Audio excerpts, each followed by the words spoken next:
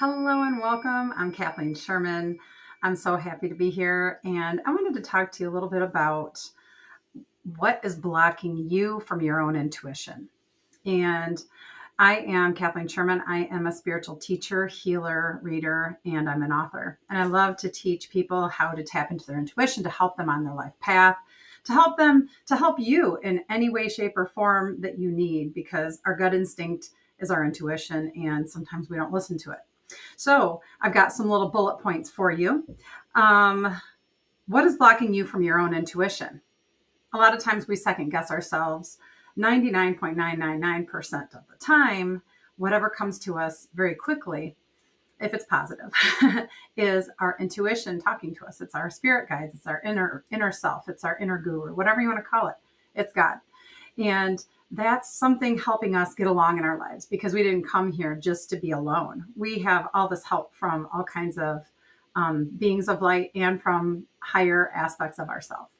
And some of the things that we aren't tapping into because we're so serious, they're saying, let, let yourself just be goofy. Be, let yourself be goofy. That's one reason why when I went through my spiritual awakening, um, I went through it really fast fast, hard, and quick.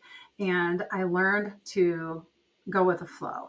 And um, you ha- kind of have to. And in life, I mean, isn't it better than to sit and worry about everything and go, oh, Lord, what if this happens? What if that happens? No, screw it. Let yourself just go. Let yourself be free. So let yourself find fun, excitement, find the wonderment in everything. Quit being so grown up. Quit being so grown up that's not what we're supposed to be like here. We're supposed to be kind of more happy go lucky. Not that we don't have our situations in life that are tough, and we, we definitely need to work through our emotional issues. But if you can um, allow yourself to let yourself release the beliefs and biases, the things that you have come to believe in your life on how these things work, it will allow you to let go and be more open for your intuition and your psychic abilities your inner knowingness, whatever you want to call it, to come in.